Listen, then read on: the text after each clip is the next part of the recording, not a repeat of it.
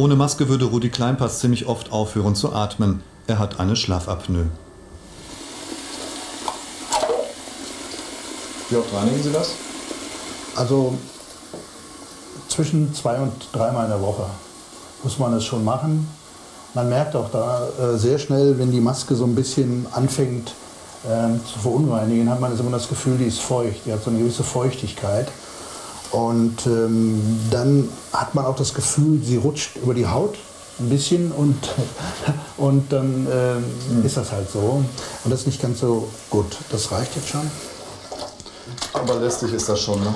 Also es ist wirklich richtig lästig. Man muss die Pflege eigentlich auch machen und, und man darf es nicht vergessen. Und also das ganze Thema Maske ist eigentlich nicht ganz so erfreulich. Wenn, Zeigen Sie mal. Jetzt sieht es ein bisschen komisch aus. Oh, sorry. Ein bisschen komisch aus, aber wenn man das jetzt mal so einfach nimmt, kommt die Maske so davor. Ne? Haben Sie sich selber schon mal so gesehen? Ja, natürlich. Habe ich mich oft schon so gesehen. Es sieht fürchterlich aus. Ja. Also meine Frau sagt immer, erotisch ist was anderes. Ne?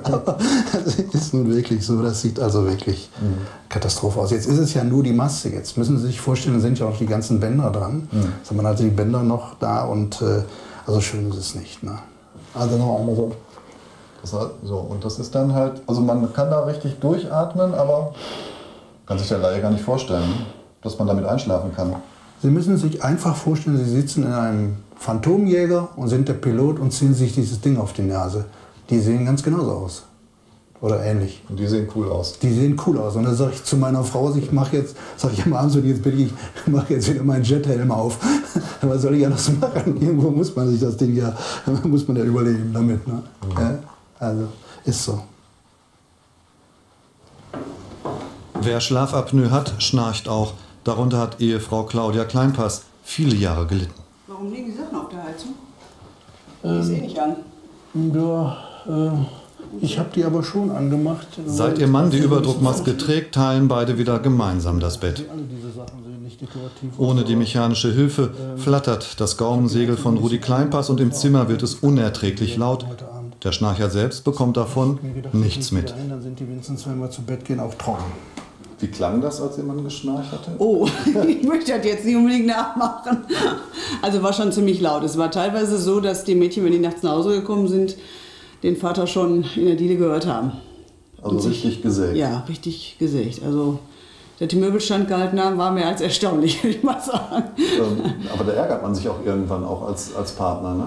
Ja, äh, besonders dann, wenn man selber nicht so gut schläft. Mhm. Man hat ja selber auch mal Phasen, wo man nicht so gut schläft. Wenn man selber schläft, ist das kein Thema.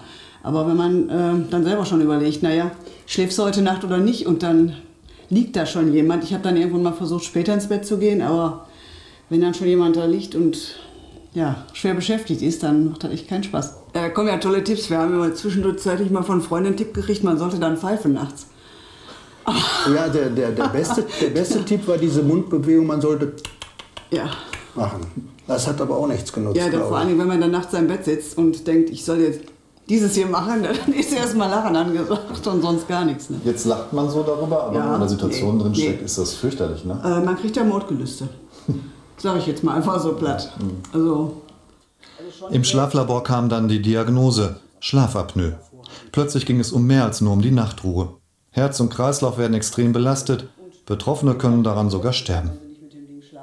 Also die Ärztin im Schlaflabor war da, war da sehr also direkt in dieser Form. Ne? Der hat das also sehr plakativ dargestellt, hat gesagt, passen Sie mal auf, so und so sieht das beim normalen Menschen aus, so und so sieht das aus. Und dann hat sie mir ein drittes Bild gezeigt und wissen Sie, was das ist?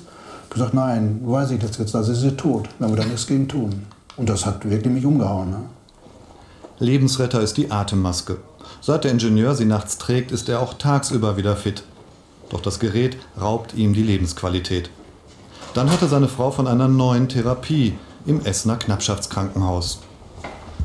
Didgeridoo funktioniert auch. Didgeridoo.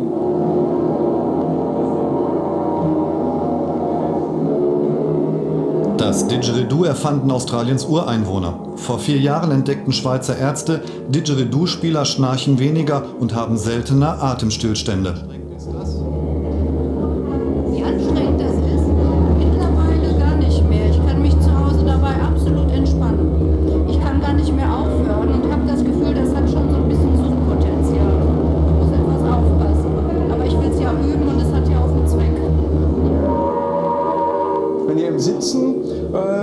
Spielt, achtet auch drauf. Es ist eigentlich nicht so sinnvoll, mit überschlagenen Beinen zu spielen. Kann man machen, aber sinnvoll aus Sicht der Atempädagogik ist es nicht. Eigentlich locker die Beine auf die Erde. Dann wieder gucken, diese Aufrichtung fängt am Becken an. Ne? Dann nicht zu sehr hier in diese Hab-8-Haltung, nicht die Fernsehhaltung. Okay, dann hätte ich die Bitte, dass jeder mal einzeln kurz anspielt. Gibt es heute Freiwillige, die anfangen möchten?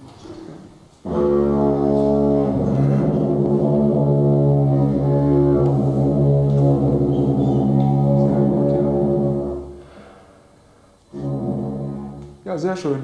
Gut. Gab es bei dir Sachen, die zu Hause aufgetreten sind? Eigentlich keine Besonderheiten. Okay.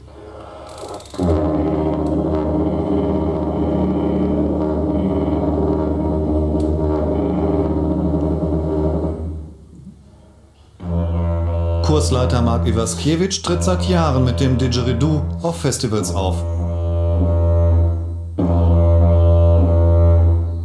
Und erstmal wirklich nur diesen Rhythmus immer wieder probieren. An vier Sonntagen treffen sich die Extremschnarcher. 600 Euro kostet der Kurs, die Krankenkassen zahlen dafür nicht. Übung macht den Meister. Aber am Anfang ist man kein Meister. Man darf nur nicht aufgeben. Immer weitermachen, einfach machen und auch Spaß machen. Und das macht jetzt mehr Spaß als alle anderen. Sie klammern sich an eine Schweizer Studie. Regelmäßiges Üben hat danach manchen geholfen. Einige konnten sogar auf die Schlafmaske verzichten. Warum es wirkt, erklärt die Studie nicht. Möglicherweise trainiert es das schlaffe Gaumsegel. Jedenfalls lockt es neugierige Besucher an. Das ist ja super. Das ist ja, das ist ja wie Alphornblasen. Ne? Und die Luft anhalten und ausatmen. Das sind Musikinstrumente. Super. Wunderschön. Hat Sie das nicht schon gewundert, dass hier sowas raus? Ja, mich wundert, also hier wundert mich gar nichts mehr. Hier sind so viele Dinge, die ich immer wieder neu erleben kann. Tschüss.